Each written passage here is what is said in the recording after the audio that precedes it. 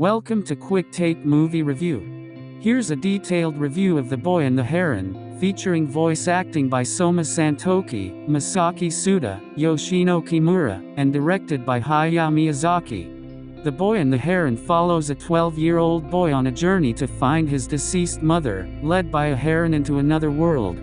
True to Miyazaki's signature style, the film embodies all the hallmarks of his work, executed to perfection. While delving into weighty themes such as death and grief, Miyazaki expertly infuses the story with elements of fantasy, ensuring its appeal to audiences of all ages. While animated, the film offers much for adults to contemplate, though children will also find delight in its vibrant animation and charming anthropomorphic creatures. The animation itself is a marvel, employing traditional hand-drawn techniques that transport viewers to a captivating another world.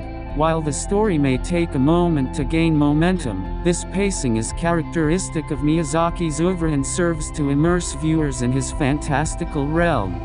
The voice acting further enhances the film, lending depth and gravitas to the character's emotional journey. Each voice performance adds layers of complexity to the narrative, drawing viewers deeper into the story's rich tapestry. Overall, The Boy and the Heron stands as a masterpiece crafted by a master storyteller.